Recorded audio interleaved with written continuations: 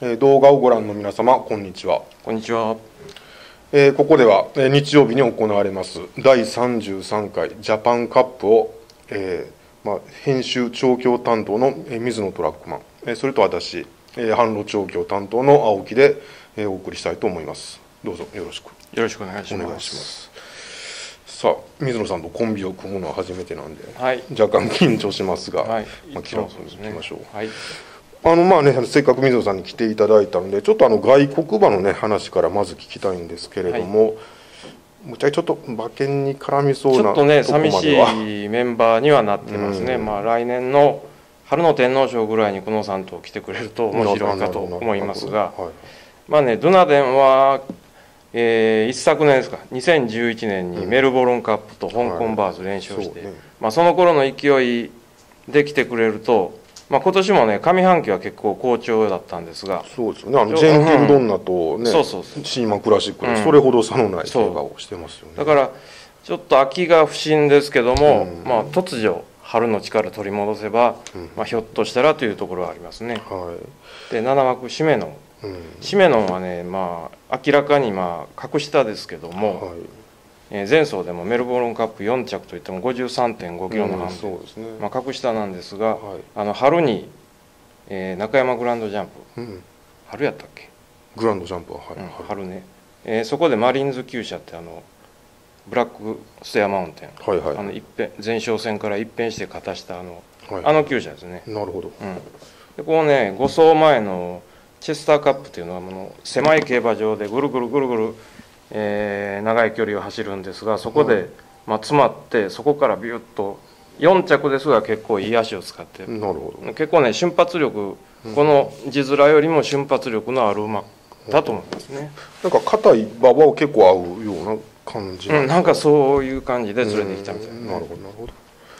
まあ、ジョシュア・ツリーはちょっとまあ2010年に来たのかな、うん。あの時が3歳でそうですよね。勢いがあったはずの時でもダメだったんで、まあこれはカナダ専用というところがあるんじゃないかと、一応前走 G1 勝ちですけど G1 勝ちやけどねそんなに強調はできないうん。ちょっと G1 なんですか？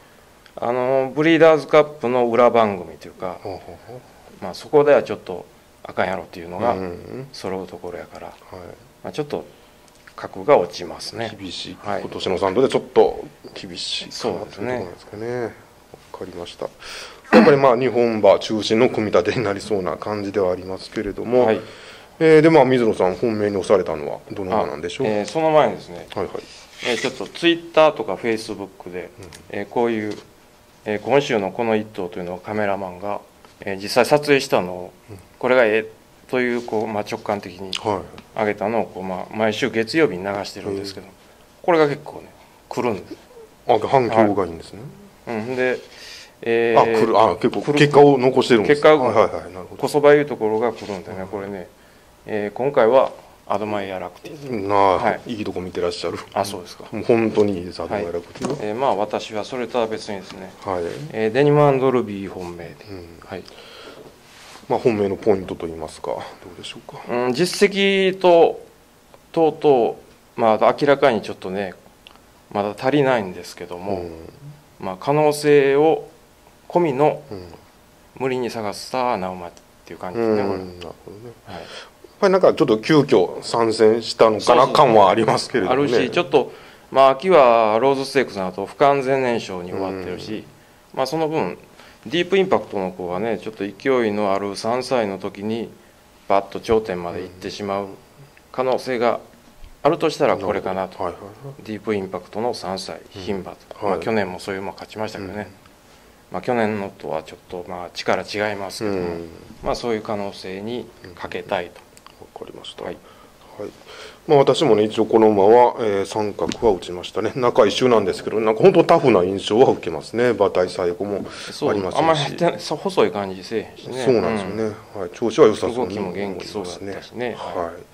えー続きまして2番手何行きましたでしょえーゴールドシップですね、まあ順番的にというか、まあ、うんこの馬は分からんあの展開がどうかとかね距離がとかあの時計がとか言うんじゃなくて、まあ、この馬が走る気になれば、まあねというところがありますすからね、はい。まあ、ダービー負けてるコースですけども、うん。まあす意外とそういうあのデータで当てはまらないところを持ってると思います、気がしますよね。はい。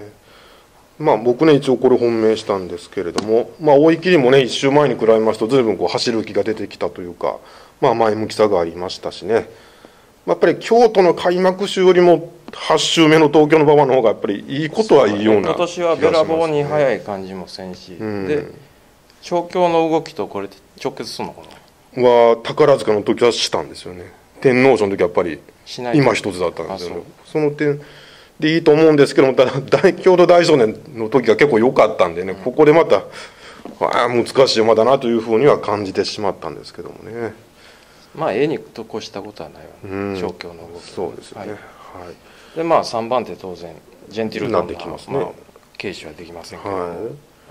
ちょっとね勢いが確かにまあ去年の、あのー秋に比べるとう、ん。まあそれなりに悪くはないけれどもん。突き抜けるもんがないという感じはします、未勝利ですもんねうん。実際のところね。まあ、強いし、まあ、手代わりで、まあ、岩田騎手が何が悪かったってことはないと思うけど、うん。まあ、こういうの手が変わったことであの馬の気持ち変わって走るとか、そういうことはありえます。はい。はい。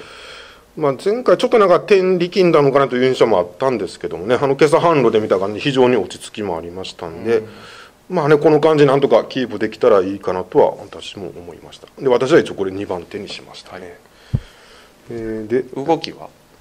動きまあ本当さらっと流すような感じでしたけどもねこう力みもなく非常にすがるい動きでした今朝の動きそれ。うんと追い日今朝両方同じような感じでしたよねまあ悪くはないと思います。で続いて何でしょうか。あ次はエイシンフラッシュですが、はい。まあジャパンカップで好成績残ってないしね。ですね。でまあ今年の場合はちょっとどれが逃げるの？っていう感じでかなり遅いペースになると、遅いペースになってこの馬の瞬発力を生きる流れになったらね。はい。まあ、これまでと違う結果が出るかもしれない、はい。はい、なんか僕これ自分でスローで逃げてまであるんじゃないかなとちらっと思ったりしたんですけどもね。ないですかねさすがああそれは私は分かりにません。なるほど、はい。まあそれはゲートを出てからということですね。あるかも分からんね、うん、なんか意外といい戦法なのかなとふっとなんか思いついたりはしましたえー、っとどうでしょうか？その後、まあ、穴でというか。まあ穴で、うん、ヒット・ザ・ターゲットねこれ、うん。キングカメハメハと、えーお母さんラティールの母の父タマモクロス、なかなかタマモクロス久しぶりに G1 の舞台で聞く名前なんそうですね、うん。はい懐かしい。まあ、ジャパンカップ2着とペーザーバトラーにああいいですね。負けた。と、盛り上がってたまあそのねその頃の。はい。ちょっと似たとこあるしね、はい。うん。で動きはどんな感じ、うん、あの武騎手乗ってね追い切ったんですけども、こう持たれるようなとこもなかったですしね。非常に力強い動きで、まあ、出来はいいと思うんですけどもやっぱりね天皇賞完敗ということからもちょっとね G1 では壁があるのかなというふうに思いまして、まあ、私はね一応ノーマークにしましたね。まああるやろうね、うん。あるけどひょっとしたらというのはまあ。そうですね。なんかちょっと展開がよっぽど大商店みたいに紛れてとかなったらというね感じはありますね。1シーズンに2回もなかなかそういうことはないやろ。うけど、うんまあですよね。はい。はい。一応まあ印としてはそこまでという感じにそんな感じです。なりますか、はい。じゃあまあ一応私ねちょっと補足しますと、私ね3番手にアドマン・ヤラクティ本当にねさっき写真で見たように馬体の充実ぶりは素晴らしいですよね。でまあ4番手にエーシン・フラッシュ。あとまあね、えー水野さん本命のデニム・ワンドルビー。あとまあ外国馬もし一応ね今年前半の実績評価しまして、まあ、ドゥーナーデンは一応打っておきました。そういうのが復活っていうのゴールデンフェザントとかね昔ちょっと走った馬が人気なくて復活するっていうあそういうケースもケースがなきにしもあらず、まあ、それにちょっと期待したいなと思います、えーじゃあ一応馬券と言いますか馬券はねますまあデニムアンドルビーから三強へ流すん。馬連と、かはい。はい、でまあまあすごく穴でということでしたらヒット・ザ・ターゲットからまた三強へなるほどはないそんな感じですね、はい。まあなかなか儲けるのが難しそうなうん。競馬かな、ですね。はい。わかりました、まあ、私は一応ねゴールドシップからまあ印をまあつけた5頭に流すという感じ。やっぱりね一応ジェンディルドンナはまあオッズ次第ですけどもね厚めに買いたいなと思っておりますえーということでまあ、11月最後の競馬ですから、まあ、なんとか儲けて師走にはい。突入したいなと思いますね、まあ締め飲んで締めましょうと。そうですね。ありがとうございました。お後がよろしいようで